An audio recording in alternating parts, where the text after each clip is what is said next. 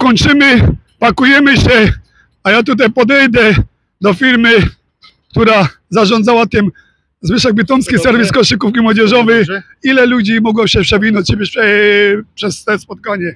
Plus W minus. sensie, ale ile wszedło? do Wszedło do środka, mogło No, myślę, że spokojnie 190, 180 na pewno. Koło 200.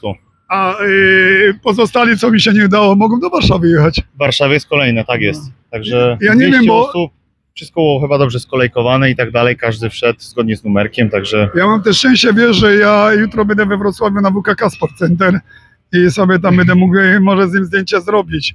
no ale następny wypad Warszawa za tydzień. Ja Także nie wiem, ja tam- może się przedstawię, bo ja jestem osobą, która e, e, 7 lat temu wywróżyła Sochanowi, że będzie gwiazdą NBA. Oglądam pan ten filmik. Nie, nie, nie. Podszedłem do chłopaka 12-letniego na kampie w Brodnicy i mówię, rozmiar buta 48, jak się nie mylę, mieszkasz w Anglii, przyszła gwiazda NBA.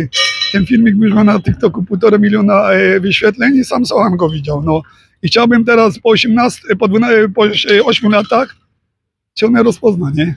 Od tego czasu już nie widziałem. Miał, miał pan okazję. Ale, ale nie, ja będę we Wrocławiu. A, no to chyba, że tak. Tylko na wie pan, ile tu ludzi zamieszanie. No Ja, ludzi ja zawsze wolę, że dzie, było dzieciaki. około 600, 500. E, a spokojnie. Z, plakatów nie zostało nic. Nic, wszystko poszło i to w połowie już zabrakło plakatów, także no ludzi było gdzieś około A 500. e, myśli pan, że on będzie miał tam we Wrocławiu na To, to być, we Wrocławiu to nie wiem, ale w Warszawie jest to samo, także można się spodziewać tego samego. Tylko już jakby większej ilości osób do Wszystkiego dobrego. Wzajemnie wszystkiego dobrego.